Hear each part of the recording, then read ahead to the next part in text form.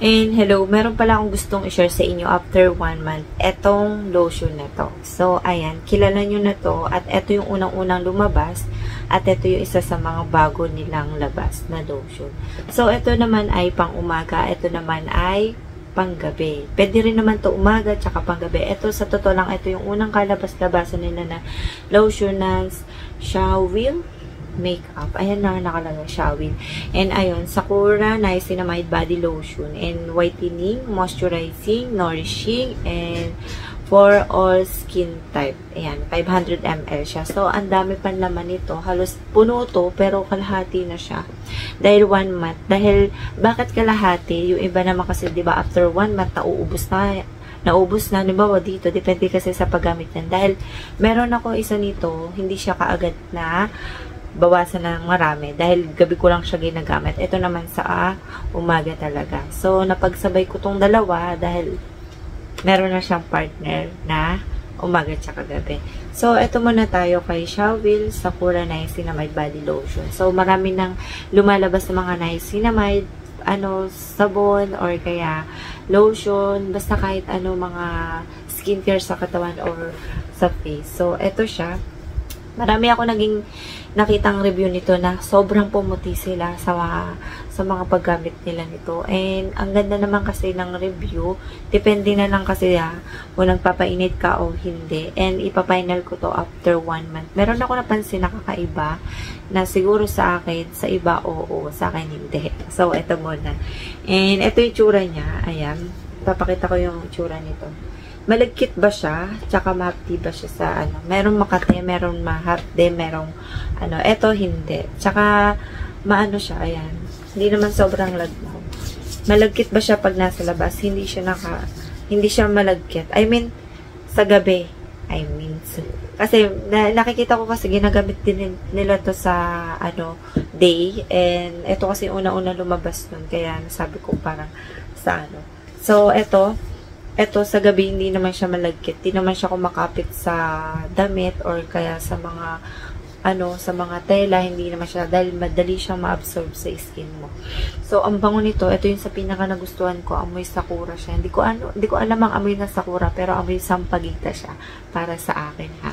So, nandito naman yung ingredients niya at paano siya gamitin. Ayan. And, bagay siya sa mga dry skin. Ayan. And, madali siyang ma-absorb sa skin mo.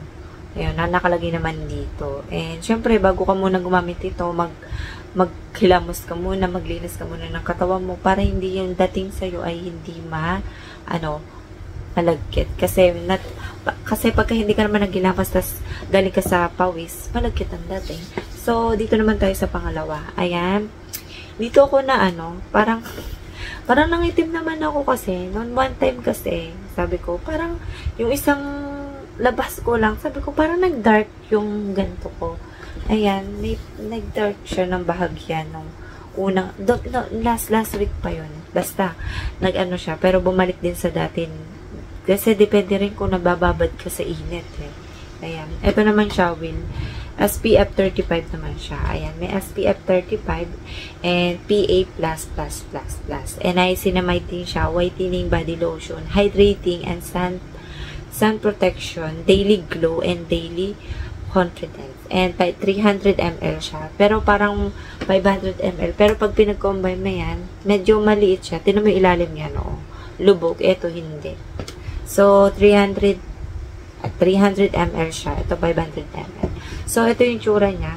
Meron siyang ganyan. And, di katulad nito, wala siyang ganun. Ayan. Plain lang siya. So, andito yung inspiration nila sa ilalim. Tsaka ito naman sa ilalim nito. Ayan. And, nandito naman siya kung paano naman siya gamitin. And, nakalagay rito, re-apply every 2 hours. Pag nasa labas ka, sa lalo sobrang init. Yung mga ganito kasi, pwede mo siya ilagay sa maliit na lagayan. Kung ayaw mo ng ganito kalaki, ilalagay mo sa bag mo. Para din siyang sunscreen na ilalagay mo every 2 hours or 1 hour. Ayan, meron din siyang vitamin E. And alam nyo naman, ang body lotion naman, or serum lotion, ay, ang trabaho lang naman ng mga sabon, ay as lotion na to ay ma-hydrate and ma-moisture yung skin mo. Ayan, mawala yung dry skin. Kung araw-araw ka ng ano, araw-araw ka nag lotion, dun mawawala yung pagka-dry skin. Lalo na yung mga fine lines na maliliit na makikita mo na dikit-dikit na parang dry. Doon mawawala yung pagka-dry ng skin mo. Kasi yung iba, may, may mga ibang lotion na dry pa rin sa skin, kahit anong gawin mo, dry pa rin. Ayan.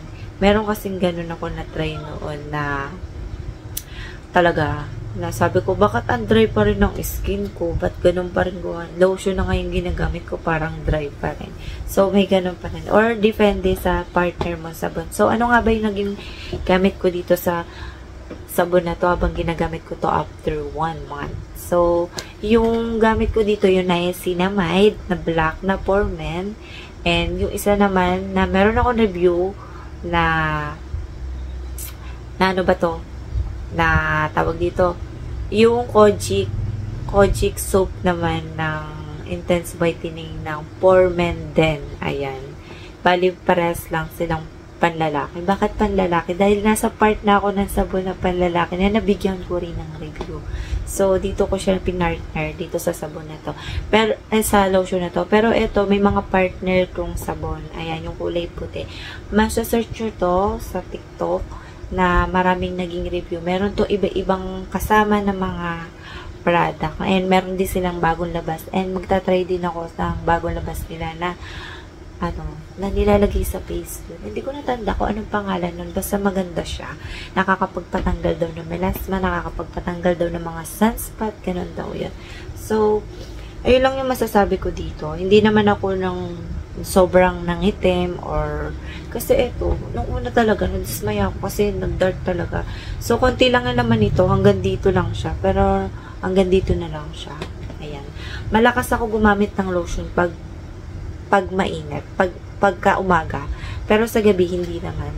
Ito, papakita ko nga pala to. Hindi ko pa pala napakita. So, di ba ang gulo ko mag-review? Ito naman, hindi siya katulad nung isa na bumabaksat. So, ito hindi. Pares lang silang white. Ito siya.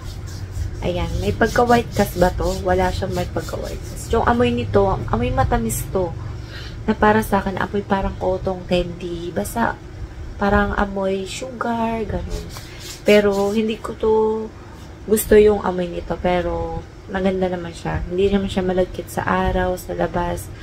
Parang yung parang nag-moist yung skin mo kahit na ginagamit mo yung lotion na to, hindi siya.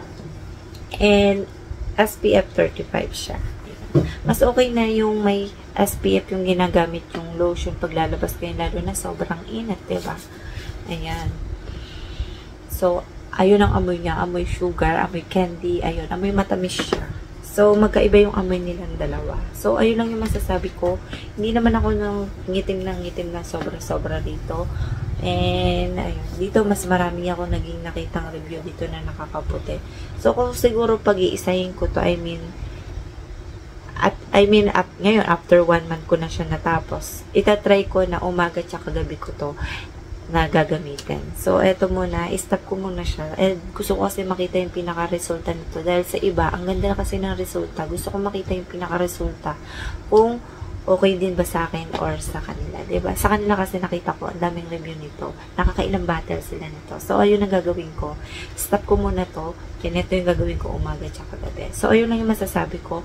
And see you next vlog. Bye!